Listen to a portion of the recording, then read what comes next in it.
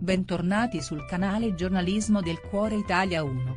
Oggi con le ultime notizie come Natalia Titova e la malattia che ha di fatto stroncato la sua carriera. Ne ha parlato la stessa donna nel corso di un'intervista.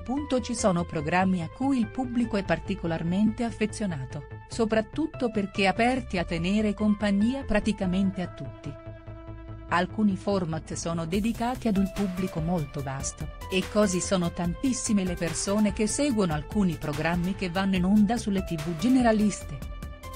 Tra questi, uno dei più seguiti ed emblematici è senza dubbio Ballando con le stelle, che da tantissimi anni tiene compagnia a tante persone e rappresenta uno dei cavalli di battaglia della RAI. Natalia Titova, Tantissimi volti noti nel mondo dello spettacolo, dello sport o della musica si sono avvicendate all'interno del programma condotto da Milli Carlucci, per mostrare le proprie abilità danzanti davanti al pubblico televisivo che fino alla fine resta incollato al programma anche per capire chi arriverà alla vittoria finale.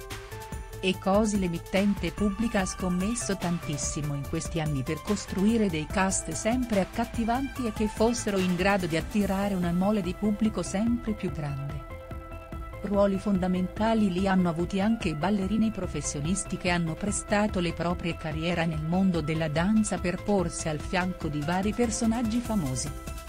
Tra questi, una delle donne che ha mostrato grandi capacità nel corso della sua esperienza ballando con le stelle è senza dubbio Natalia Titova, che proprio durante il programma condotto dalla Carlucci ha svolto il ruolo di insegnante di ballo.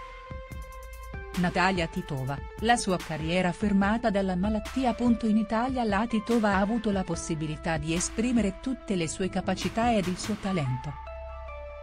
Ballando con le stelle, chiaramente, è stato il programma che le ha dato modo di avere grande visibilità. Poi il mondo del gossip, visto che la Titova da tanti anni ha una relazione con un altro personaggio noto di sport e spettacolo, Massimiliano Rosolino. I due hanno anche messo su famiglia, con l'arrivo delle due figlie Sofia Nicole e Vittoria Sidney. La carriera di Natalia, però, è stata praticamente fermata da una malattia che le ha impedito di continuare a ballare ad alti livelli. Di cosa si tratta? Il ginocchio di Natalia è stato colpito da osteomielite, malattia che l'ha così portata ad appendere le scarpette al chiodo.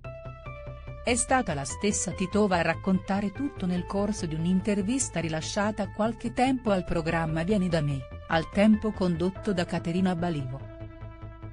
Grazie per aver guardato l'intero video. Metti mi piace e commenta la tua opinione in modo che possiamo discutere. Non dimenticare di iscriverti al canale per ricevere le ultime novità prima degli altri. Ci vediamo nei prossimi video. Ciao!